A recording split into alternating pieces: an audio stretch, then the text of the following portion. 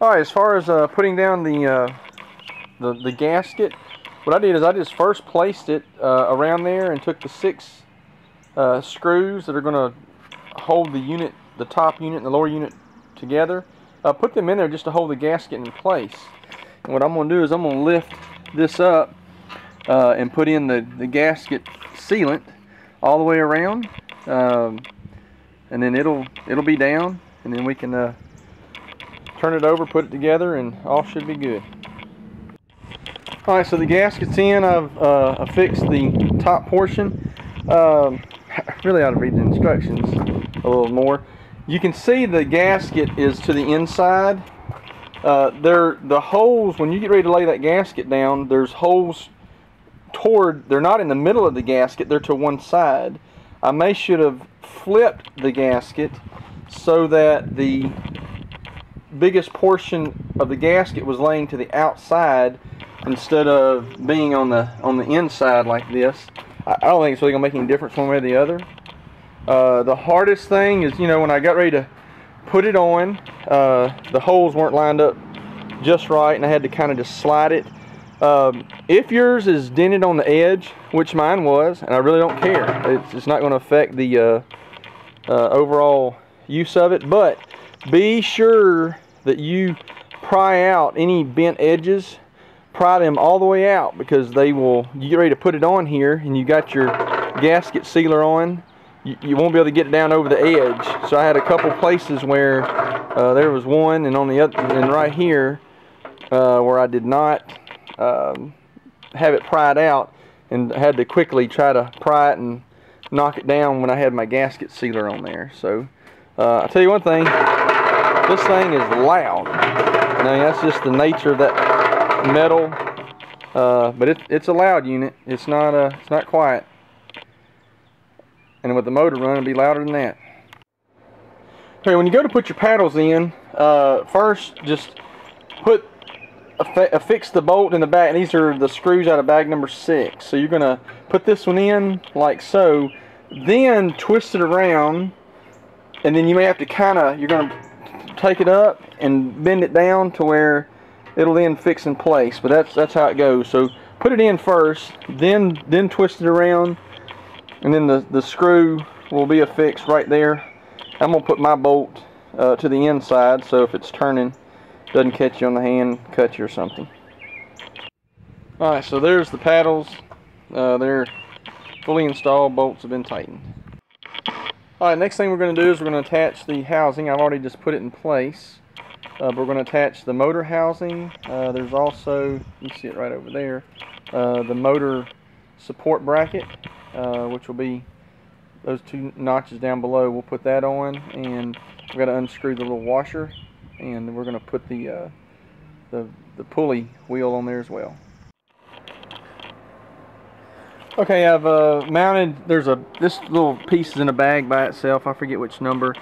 Uh, these screws, I don't know why they got such little skinny screws. They don't really, they're long enough, but they're really not uh, big enough diameter in my opinion. Maybe later I can replace those. Uh, but we've got that, and that's what's going to hold this right here, and we'll get the height of the motor adjusted properly.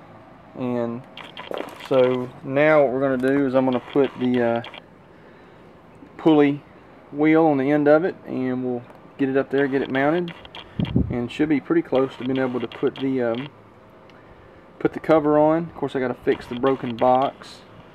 Uh, be ready to go and just see uh, how many decibels this thing puts out when it turns because it's got to be loud. Okay so I've got the motor uh, installed. Um, there were only two I could only find two bolts to, to hold this motor down and really don't need that much. I put one on this corner and one on this corner over here. Uh, I think belt's fine. Um, so we're just going to take this back, this wire, and feed it down into the, the box. Again, these, these pieces were broken off uh, right here. Uh, I've got them pushed back into place, but it's still, I'm going to see if I can heat that up and mold that plastic together with a little torch, kind of melt it together.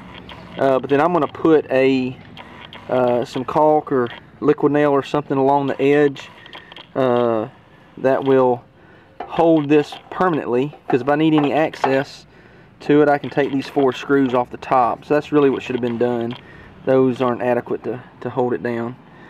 And uh, that's it. So I'll show you guys. We're almost close enough to uh, do the final run alright here's the finished product got the uh, motor hood everything all mounted on there uh, I did, originally I told you guys there were only two screws for the motor mount. I did find the other two. Um, also, when I was throwing the styrofoam away, I found the, the longer screw, uh, the bolt that goes right here to put pressure on the spring. To, so you got pressure against it. Um, all in all, I mean, it seems fine. Uh, one of the things that I did, let's rotate it all the way over is I shot grease. I actually, had it going the other way, so it was going into it. But I, I took my grease gun and just ran it and shot grease in there. Thought it wouldn't hurt just to have a little bit uh, on there. Too much to sling a lot of it out. But I mean, it's very, very little. But just uh, have a little. Um, seemed like I could hear a little noise. I don't know if the noise is inside the bearing. The more it ran, the quieter it got. Uh, I just don't know if that initial starting up, but I'm, I'm, thinking some of the noise that I was hearing was in the in the bearings. But I'm gonna go ahead and turn it on. You know, you just got a you got metal, this grooved metal here against that metal wheel. I mean, it's it's gonna be a little loud. Ever so often you hear it just hit one, it goes like it's clunking, like bam. And I just think there's some of the teeth uh, or some of the holes are not as punched through and when it when it hits that one it just makes a little bit louder noise but all in all I mean it's you know it seems to be fine uh, I put grease down in that one again one of the things they could do better is if they put little grease uh, grease nipples those little zerk zerk tits on there um, but it may not be that big a deal um, but now there's really no noise. The noise I was hearing earlier was, like I said, it was kind of in there. Um, I didn't take the cover off, but it's, it's quietening down a lot. Uh, one of the things I'll note, let me turn it off.